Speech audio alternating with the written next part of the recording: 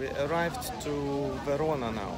It took us around two hours from uh, Venice and now we're gonna go and find our apartment.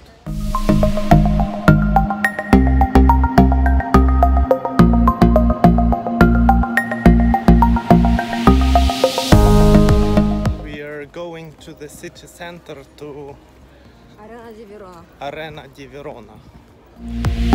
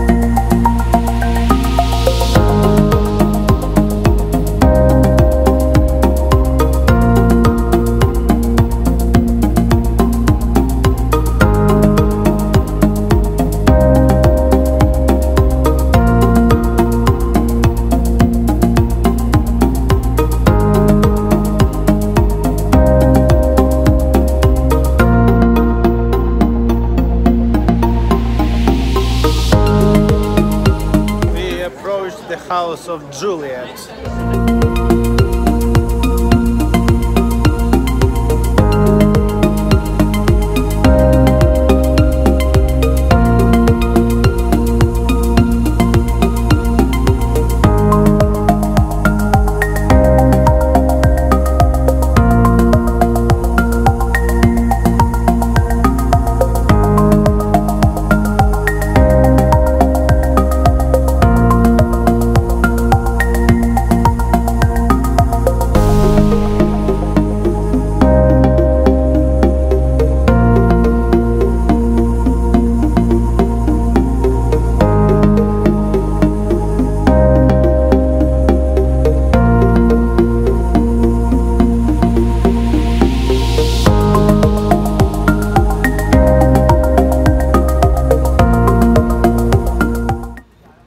So we are now leaving uh, Verona. We spent just one day, uh, but uh, actually one day is uh, enough uh, in Verona if you do not want to visit some lakes around, uh, which people say are really beautiful.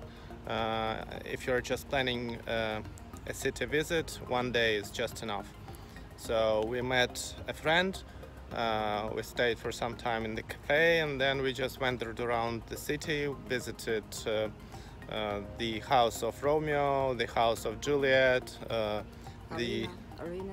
the arena which looks similar to a Colosseum in Rome but smaller uh, and uh, some castle. And the city is much quieter than Florence or Venice or Rome but uh, if you're around or planning your trip to Switzerland, it's definitely a good one to stay for a day.